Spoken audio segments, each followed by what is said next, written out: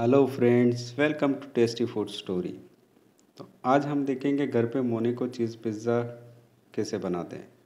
अगर आप घर पे हैं और आपको छोटी छोटी भूख लग रही है, या घर पे कोई गेस्ट आए और खिलाने के लिए कुछ नहीं है तो Monaco cheese pizza is the best तो चलिए हम देखते हैं कि घर पे मोनिको चीज़ पिज़्ज़ा कैसे बनता है, दो मिनट से भी कम समय में।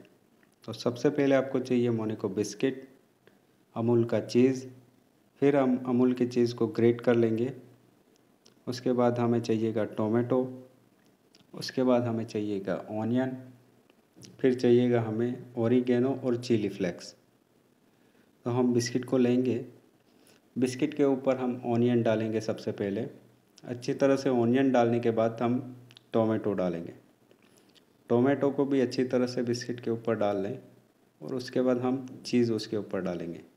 चीज़ को अच्छी तरह से स्प्रेड कर लें और उसके बाद थोड़ा सा ओरिगेनो डालें और थोड़ा सा चिली फ्लेक्स तो देखिए आपका मोनिको चीज़ पिज़्ज़ा घर पे रेडी हो गया दो मिनट से भी कम समय में।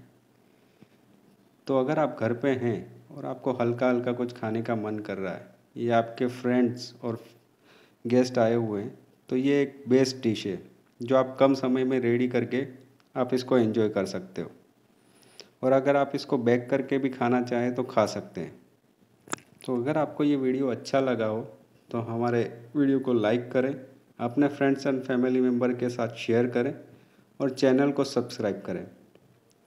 हम ऐसी रेसिपीज़ और स्ट्रीट फ़ूड को कवर करते रहते हैं।